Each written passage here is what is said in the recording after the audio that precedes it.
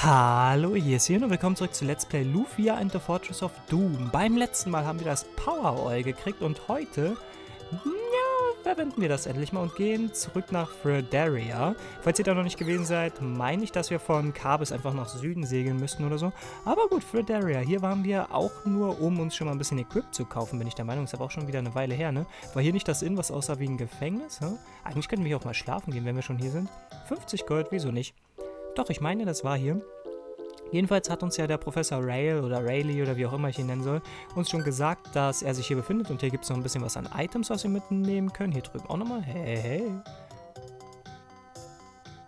Ja, wieso denn noch nicht? Und hier vorne Miracle, weil wir davon natürlich noch nicht genug haben. Ich gehe hier nur mal kurz hin, weil ich habe meine Sachen noch nicht verkaufen können seit der letzten Episode und darum, ja, du kannst direkt weg. Der Heavy Ring, ich habe ihn beim letzten Mal getestet, gefällt mir doch nicht. Ich habe es versucht, aber nein, nein, nein, ist nichts, womit ich arbeite. Genauso Dragon Tooth und Dragon Arrow kann alles weg. Blast Ring behalte ich aber definitiv. Grand Blade kann weg, Carbo Sword kann weg. Flaming Boy noch Foulwater weg. Mhm, mhm, mhm, ja, sorry, wie gesagt, ich hatte nicht wirklich die Chance, das in letzter Zeit zu machen, aber ja, die Swingwings brauche ich auch nicht mehr. Wir haben Jaren. So, das dürfte passen. So, alles klar. So habe ich auf jeden Fall genug Platz. Alles klar. Sorry, dass ich die Zeit jetzt gerade mal so gemein ausgenutzt habe, aber gut.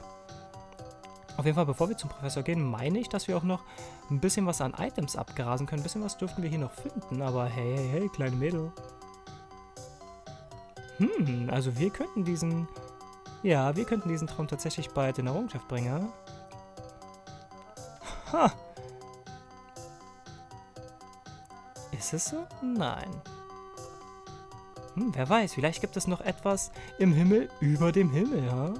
Wer weiß, was hast du? Achso, du bist der Genau, bei dir können wir auch mal wieder speichern. Das ist ja schon ewig her. Ich meine, 15 Stunden sind wir schon im Spiel. Heiliger. Seht ihr mal, wie viel ich geschnitten habe?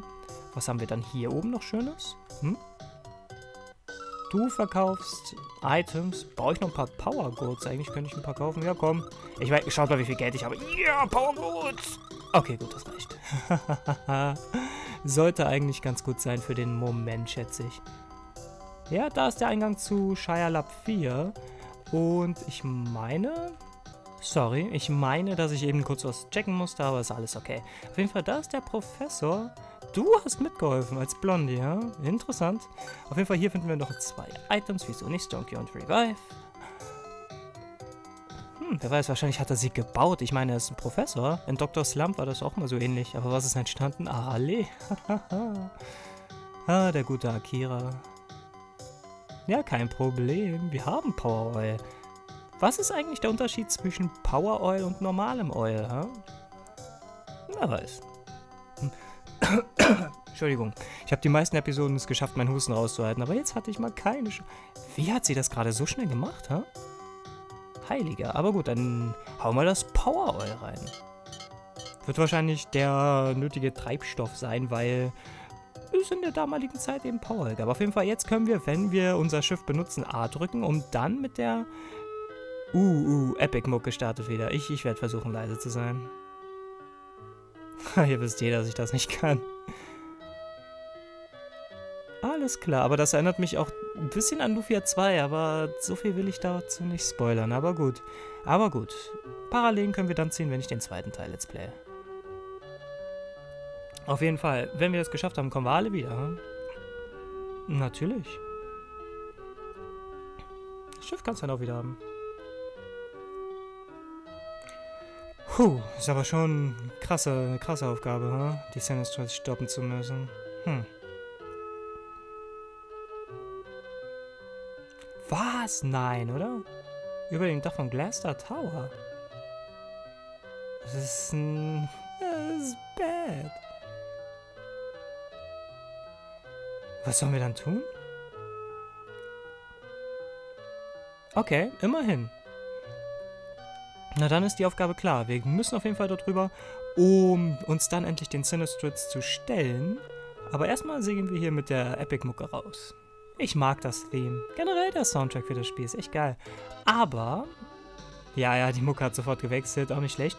Auf jeden Fall, wenn wir jetzt A drücken, seht ihr schon, dann kriegt das Ding einfach mal einen Propeller und wir können rumfliegen. Keine Random Encounter in der Luft übrigens und ich liebe die Mucke beim Fliegen. Ist das nicht geil? Aber wenn wir wieder runtergehen, haben wir wieder die Schiffmucke, genau. Aber ich möchte jetzt endlich mal zum Dragon Shrine gehen, wo wir die ganze Zeit noch nicht waren. Ich habe ja schon drüber geredet und habe ihn eigentlich auch schon gezeigt. Wobei eigentlich waren wir dann doch da. Aber auf jeden Fall will ich ihn jetzt auch mal verwenden.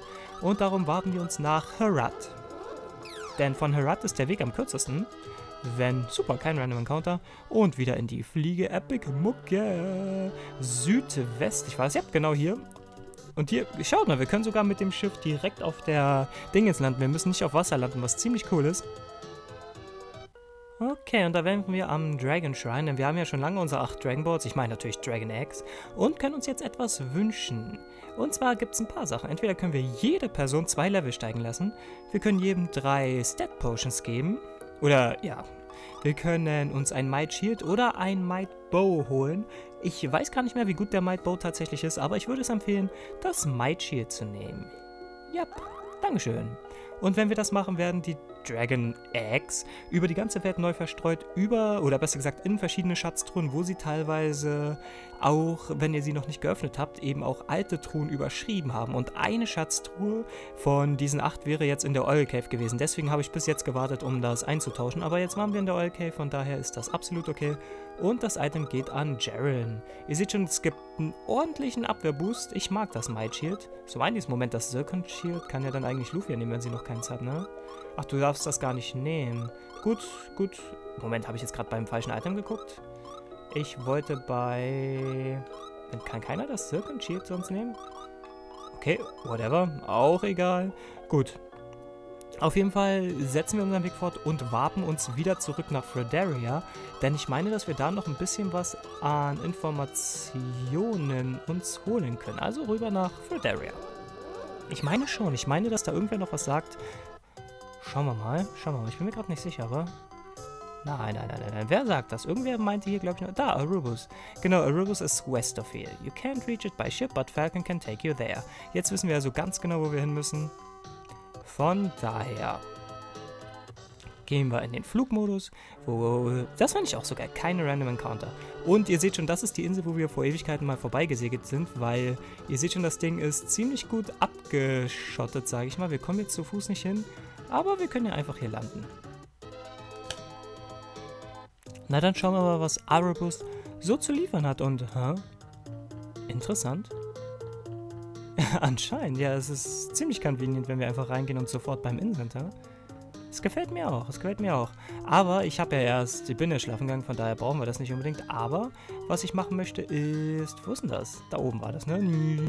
Genau, ich möchte die Spell Potion mitnehmen. Außerdem gibt es hier tatsächlich mal wieder ein paar Items, die ich kaufen will. Also so ist es nicht. Wir werden hier heute ein bisschen was an Items kaufen, muss aber gleich nochmal dafür auf die Shopping-Liste. Wobei eigentlich, kriege ich das aus dem Kopf hin?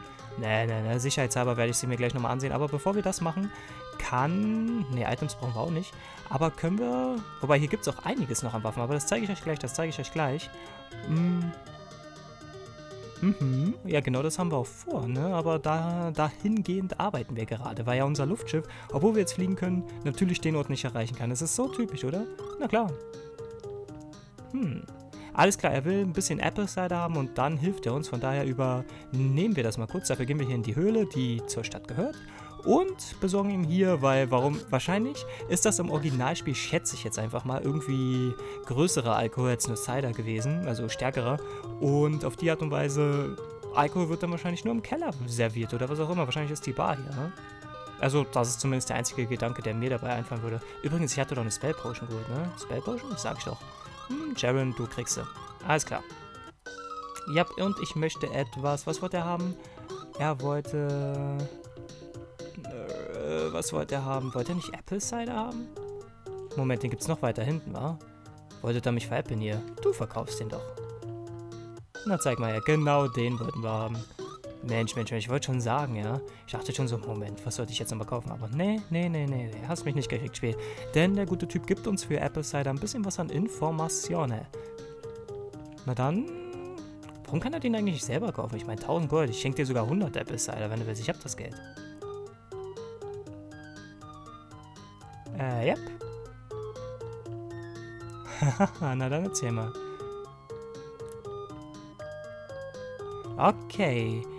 In der Höhle, die nördlich von Glasstar Tower ist. Alles klar, dann wissen wir schon mal, wo wir hinwollen. Ich werde mal kurz meine Shoppingliste aufmachen und sage bis gleich. Alles klar, so, es gibt einiges, was wir kaufen wollen. Und dann hauen wir mal rein. Denn es gibt auch eine neue, stärkere Waffe. Es gibt zwar Zircon Sword, was auch jetzt nicht so schlecht ist, aber die Zircon Axe ist doch nochmal einen Ticken besser. Davon will ich eins haben. Hm, eigentlich war es das an Waffen. Und die equippen wir nämlich nein, Aguro, weil Zircon Axe ist nochmal ein deutliches Plus. Ha? Gar nicht schlecht, gar nicht schlecht. 528 Angriff, das bumst ordentlich. Wie viel hat eigentlich oh, seht ihr, seht ihr? Die, die sich gewünscht haben, dass Aguro wieder stärker wird, da habt das, da habt das. Das Dual Black, Moment, wie viel Angriff gibst du eigentlich? Alter, das Ding gibt echt nochmal 50 mehr als das Grand Blade. Das ist echt, echt extrem, ha? Aber gut, es gibt auch noch ein bisschen was an Rüssi, was ich haben will. Und ich meine, wir haben das Geld locker und dicke. Ich möchte haben eine Zircon Rope.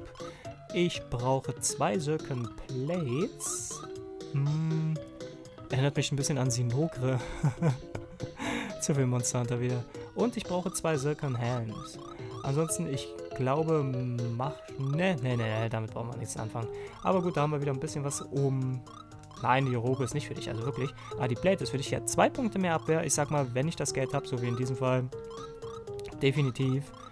Nein, Zircon. Weil, ich meine, ich habe inzwischen das Geld. Ich bin so reich inzwischen, da spielt es gar keine Rolle mehr. Für dich war nichts dabei, aber für dich war noch was dabei. Oh, die arme Lufia geht heute leer aus. Nein, Zirconus ist ja auch meine schlechter. Ist schon Might Shield all the way, wobei, dann kann ich auch mal ganz kurz mein altes Equip verkaufen. Ja, das habe ich heute schon mal gemacht, aber von Cabo, Cabo. Ja, und vorher war Cabo noch das Maß aller Dinge. Ja?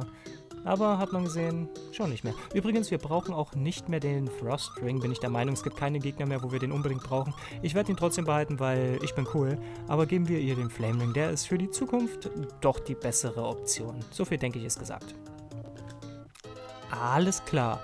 Dann gehen wir mal los und gehen zu der besagten Höhle, die sich nordwestlich befindet. Das wäre diese hier. Und schaut mal, dort ist zwar die Island of Doom, aber wenn wir versuchen dahin zu fliegen, ihr seht schon, das Schiff, das steuert dann automatisch einfach weg. Wir kommen da im Moment unmöglich hin. Und wie gesagt, der Durchgang wäre hier, aber wir brauchen halt den Key, um dort überhaupt durchzukommen. Darum ignorieren wir diesen Eingang und begeben uns erst einmal hier hin. Packen wir direkt davor. Absolut. Haha, richtig schlecht eingepackt, ne? Auf jeden Fall die nächste Dungeon. Ja, ich weiß, Dungeons und Lufia gehen leider Hand in Hand. Aber was soll ich machen? Jedenfalls gehen wir diesen ganz geraden Weg einfach weiter. Und ich habe Lufia immer noch auf ihrem Flashring, weil die Mad Knights, gerade die, sehr anfällig drauf sind. Ansonsten, ich glaube, Feuer bringt bei euch nicht wirklich viel. Greift die anderen mal physisch an. Das sollte eher den Sinn und Zweck erfüllen, den ich haben will schon. Ja, ich weiß, Jaren ist nicht gerade die äh, stärkste. Ich denke mal, so ein Mightbow hätte wahrscheinlich schon ordentlich Angriff, aber ich denke mir lieber die Verteidigung, weil der Verteidigungsboost war doch zu groß und Jaren ist nicht wirklich jemand, den ich so großartig physisch kämpfen lasse. Ha? Auf jeden Fall diese Variants, ich meine, dass wir sie nur mit einem Flash oder besser gesagt mit dem Thunder down kriegen, weil die doch schon etwas stärker sind, aber ihr seht schon, Thunder. Ich glaube, dieser Zauber pierst wirklich die Abwehr, weil er ist immens hoch, der Schaden, der da immer fällt. Könnte sein, ich bin mir nicht hundertprozentig sicher, aber na gut. High Potion, Wahnsinn. Immer mal, wieso denn nicht? Nun gut, die Stufen können wir erstmal ignorieren, aber mir fällt gerade auf, wenn ich hier jetzt noch weitergehe, wäre das etwas von Nachteil, weil ich dann vielleicht offscreen mich doch entscheide dazu, in Offscreen zurückzugehen und das episodenübergreifend zu machen, wäre ein bisschen blöd.